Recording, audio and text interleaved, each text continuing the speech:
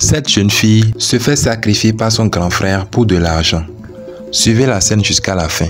La jeune fille vient de tomber sur la chambre secrète de son grand frère et par surprise, elle voit une dame sacrifiée et allongée sur le lit. Prise de peur, elle s'en alla en courant. Son grand frère était au salon en train de discuter d'affaires avec un ami.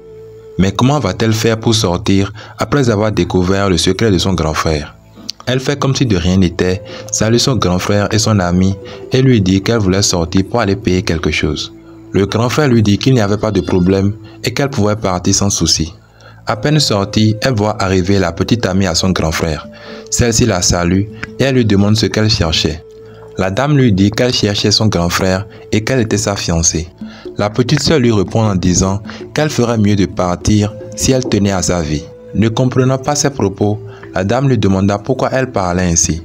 La petite sœur lui répondit en disant que son grand frère était un ritualiste et qu'il pouvait la prendre pour des sacrifices. Trouvant tout ceci bizarre, la petite amie la laisse et entre dans la chambre. Pour elle, la petite sœur était cinglée. Arrivée au salon, elle renfroie la mine et salue son petit copain. Voyant que l'ambiance était bizarre, il lui demanda ce qui n'allait pas et pourquoi elle renfroyait la mine. Sa petite amie lui répondit en disant que c'était à cause de sa sœur qui lui avait dit qu'il était un ritualiste et qu'il faisait des sacrifices humains. Entendant ces propos, le jeune homme ne savait plus quoi répondre.